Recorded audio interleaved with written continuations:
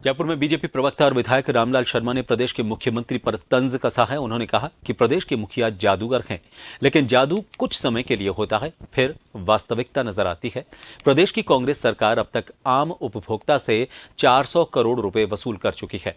दूसरी तरफ़ ग्राम पंचायतों में विकास के काम अटक गए हैं।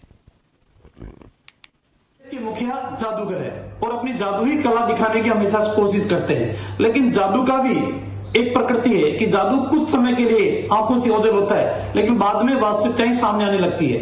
राजस्थान के मुखिया भी इसी तरीके से अपनी जादुई कला प्रदेश की जनता को दिखाने में लगे हुए हैं। किसानों के लिए इतनी यूनिट बिजली फ्री, उपभोक्ताओं के लिए इतनी यूनिट बिजली फ्री और फिर दूसरी तरफ़ अब 45 पैसे प्रति यूनिट का सरचार्ज या फ्यूल चार्ज के रूप में वसूलना शुरू करने के निर्देश विभाग को मिल चुके हैं। इससे पहले भी लगभग 400 करोड़ रुपए प्रदेश के उपभोक्ताओं से वसूले जा चुके हैं। लेकिन ये वास्तविकता है कि जादूगर की जादुई कलाएँ अब ज़्यादा चलने वाली नहीं है। और हकीकत यह भी है कि मार्च का बहाना लेकर बिजली विभाग के कर्मचारी अधिकारियों ने ग्राम पंचायतों के सरपंचों को ट्यूबवेल के कनेक्शन काट के, बिजली कनेक्शन काट के और पैसा वसूल